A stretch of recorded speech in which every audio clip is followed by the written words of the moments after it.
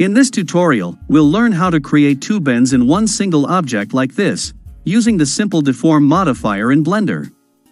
It is easy, we just need some modifiers with suitable setup. We'll take a long cylinder, or a pipe object, and create two such bends at the two ends of the pipe, by adding the modifiers. So, let us start with the base file of this tutorial. We have got a pipe object, and we'll create two 90 degree bends at the two ends of this pipe, somewhere at these points. But before that, we need to create two vertex groups from this object. So select the object, and let us go to the edit mode. We have already created enough subdivisions for this pipe, which is very important for the simple deform modifier to work. Now turn on the X-ray selection mode from here. Then press 3 on the number keypad to go to the front view. Deselect everything and make a selection like this. Let us select up to 8 holes. Then go to this Object Data Properties tab. Click on the plus button to add a vertex group. Let us rename this as Group 1. While these vertex point are selected, click on this Assign button to assign these vertices into this vertex group. Now, deselect everything and make another selection from this end. Please remember to keep the X-ray selection on. Let us then create one more vertex group. We'll call this as Group 2. Then click on the Assign button to assign this set of vertex points to this second group. Now we can go back to the object mode. So, we are ready with the pipe. We can now add the modifiers and create the bends, but we need some guiding object in order to apply the simple deform modifier with precision and perfection. So, let us add one empty, maybe a sphere. We need to ensure that this empty has the same location and rotation transformations as that of the pipe. For this object, we can see that the z location is 7, and the x rotation has got 90 degrees.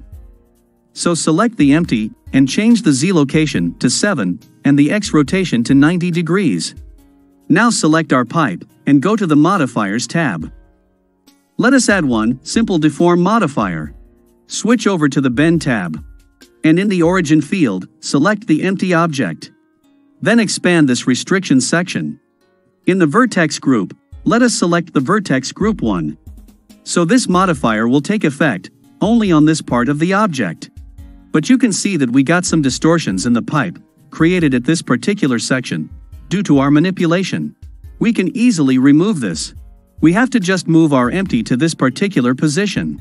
So pick up the Move tool, and move it slowly toward the point of distortion. Perfect. Let us select the pipe once again. Now, we'll use these limit values to restrict the bend only in this section of the pipe. Let us slowly increase the lower limit. We can go up to 0.3, or maybe 0.4, this should approximately match with our vertex group. And the upper limit can be reduced at the same time. Maybe somewhere like this. We'll now increase this bend angle. As we go higher, the bend also gets sharper, but even with full 360, you can notice that the bend itself is not even 90.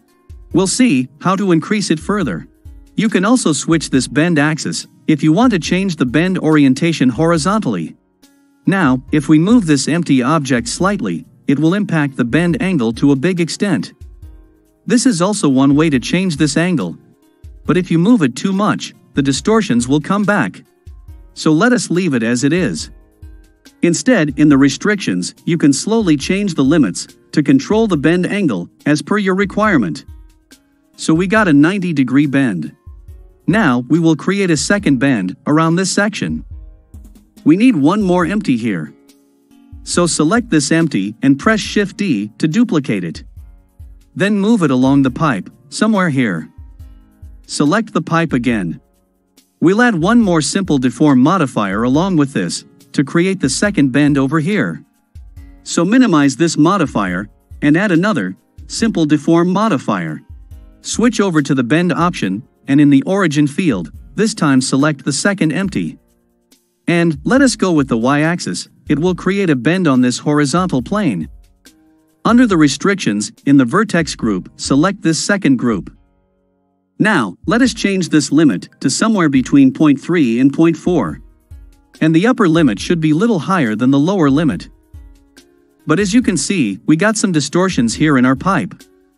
We know how to handle this, so like before, we'll just move this empty, toward the point of distortion, so that we can have a very smooth bend. Okay, this looks good. Next, we'll work on the bend angle. Let us make it little more perfect. Maybe like this. Now, if you increase the bend angle, the pipe will bend further. This way, you can control the bend easily. Or you can also control the bend angle by changing these limits as suitable. Ideally, you should use both of them together to get the perfect shape.